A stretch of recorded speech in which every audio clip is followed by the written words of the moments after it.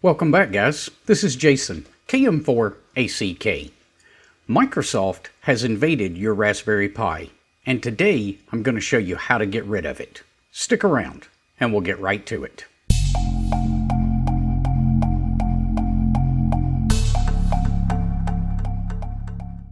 Hey, I do want to give a shout out to Steve WB3 LGC. He's the one that brought this to our attention over in the forum. So thanks, Steve, for uh, getting this out there. I was totally unaware before I read your post. So let me explain to you what's happening. And if you're not uh, interested in the explanation and you just want to see the steps on how to get rid of the Microsoft repository, I'll leave a notation right here on the screen so you can go ahead and fast forward to that point. But what's happened is there was a recent update uh, for the Raspberry Pi that installed a Microsoft repository, kind of um, slid it in there without any notification uh, to the open source community. Now, this uh, angered a lot of uh, people in the open source community more because of the way it was done than actually what was done. And it was just that it was uh, it, it was part of a routine update upgrade process and gave the user no notification that this was happening, neither on the Pi nor in the changelogs that are published over on the Raspberry Pi Foundation's uh, website. Uh, so that uh, was part of the problem. And then the second part of it is this is more of an opt out instead of an opt in situation. So it kind of takes control away from the end user. Uh, now, why is this a bad thing? Well, A, the way they did it uh, just wasn't the right way to handle this. The notice should have been given to the user, and then they should have been allowed to make the choice do they want this extra repository or not? But in addition to the repository, there is also a Microsoft key that has been installed on the Raspberry Pi as well. Now, that key can be used to verify that software is from a trusted source. Uh, so theoretically, things could kind of happen in the background, uh, be verified that it's from a trusted source, and run without your knowledge of it. Um, so it's just really not a good situation. Now, this may not matter to you, but it's these kind of techniques is one of the reasons that I left Microsoft several years ago. I'd rather be in control of what's going on on my Raspberry Pi, and I don't want things kind of slid in there that I'm just totally unaware of and not given an option to uh, look at, fix, uh, or at least be notified of in advance. Now, all of this could lead to um, more tracking of what you're doing. Uh, and a lot of people in today's society are trying to lessen their digital footprint and the amount of information they give to large corporations. Uh, so this, uh, every time you do an update or upgrade in the future, you're going to be pinging a Microsoft server if you leave it as it is now. So just uh, kind of a little bit of the background on this. But let's go ahead and jump over to the Raspberry Pi and I'll show you guys how to stop this thing, at least for now. It may change in the future, but at least we can put a stop to it for now. Okay, so something to keep in mind here, you may not see exactly what I'm showing you if you haven't run an update upgrade process over the last uh, probably two weeks or so, you may not see this. But as soon as you run that update upgrade, you're going to see this information. So from the terminal, I'll tell you what, let me get back to my uh, home directory there. From the terminal, the first thing we want to do is run sudo nano forward slash etc forward slash hosts. You're going to come down to the bottom of this file and you're going to put 0.0.0.0 and we'll hit the tab key and we're going to put packages.microsoft.com And what that's going to do is anytime uh, anything tries to call packages.microsoft.com, it's going to redirect that back to our system and basically break the link to packages.microsoft.com. Uh, so you will see some errors when you do an update upgrade to where the system can't find uh, the Microsoft.com server, and that's uh, to be expected because we're redirecting that back to our local machine so that it can't make that connection. Once you've entered that line here, press Control S on your keyboard. You'll get the wrote, uh, whatever number of lines down there, and then Control X to escape out of it. Now, this next command uh, is okay for now. It could present some problems in the future uh, because we're going to hold back some updates from happening going forward. So this um, is, is kind of an optional step uh, that you may or may not want to take. The What we did just a second ago pretty much should, pretty much should take care of it since we're not allowing the Raspberry Pi to contact the Microsoft server. But you can run sudo space apt hyphen um, mark space hold space raspberry pi hyphen sys hyphen mods. I think I got all of that spelled correctly and it'll tell you that that package is on hold. Now, at any point in the future, if you wanted to undo that one change, you could run this command again, the one we just ran, but instead of using hold, you could use unhold, U-N-H-O-L-D, uh, and that would remove the hold that we just set on this package.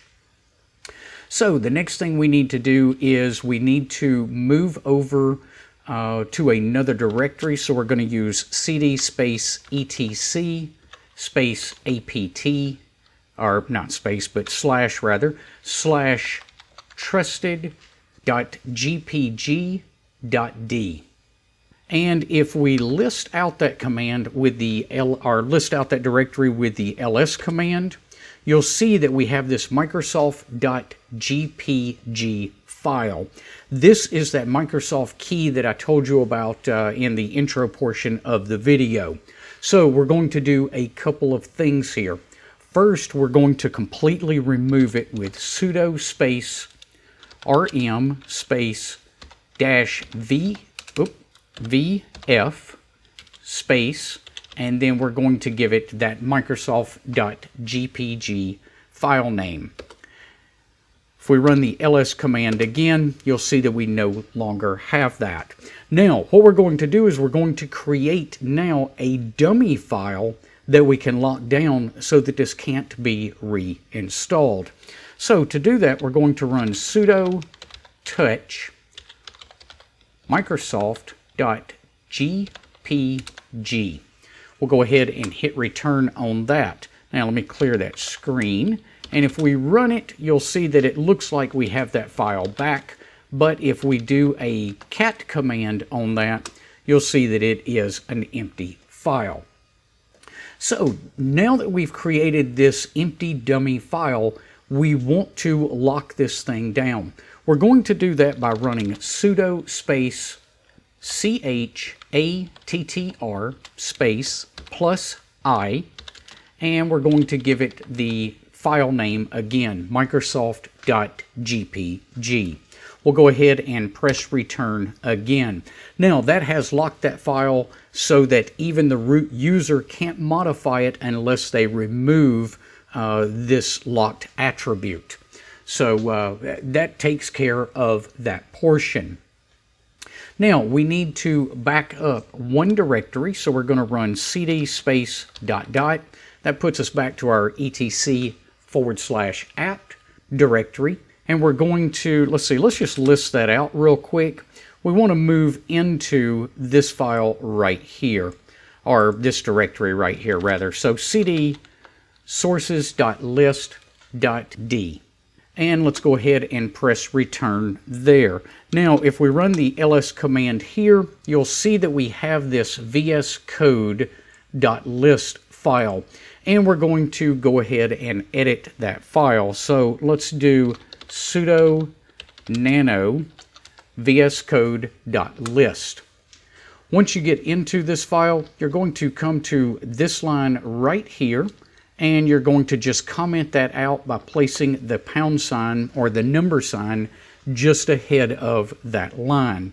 Once you've done it, you're going to press Control S and Control X.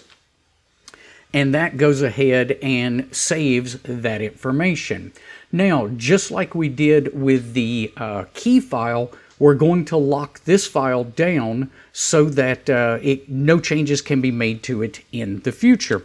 So we'll run sudo space chattr space plus i space vs code dot list and that takes care of it.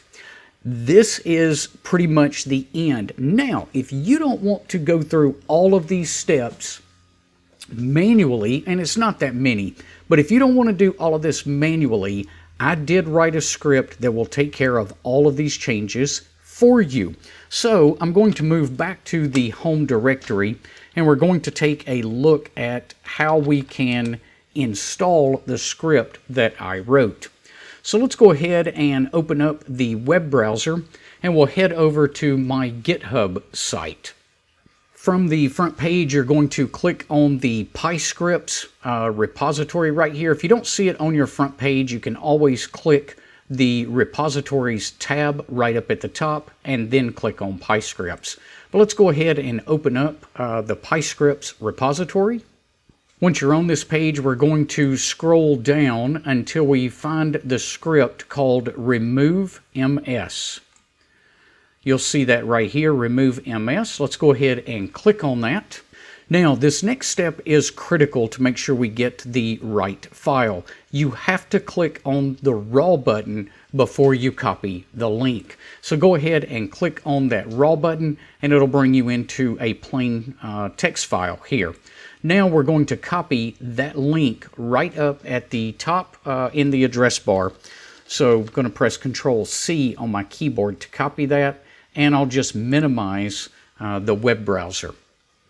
Now let's go ahead and move over to the downloads directory with cd space downloads and then let's go ahead and download the script with wget uh, and then we're going to right click and paste in the link that we just copied. Go ahead and clear that screen, run the ls command, and you'll see that we have that uh, in this directory. So to run that, we're going to uh, just say bash space remove ms. And notice there that ms is capital. If you don't get that in there right, you're going to uh, you're going to get a failure here. We'll go ahead and press return. Now, one thing that the script does is it gives you the option uh, of whether you want to place a hold on the Raspberry Pi SysMods package. Uh, so that is completely up to you whether you do that or not. Once you make your choice here, the script is just going to go ahead and take care of the changes that I showed you just a few minutes ago. And once it's done, it's going to let you know. And I'll probably run into some errors here uh, because I've already done these changes manually. But I'll go ahead and hit uh, yes here for this and we'll let it go ahead and run. Now it does give you some information here that the hold will be placed. It also tells you how to undo that in the future.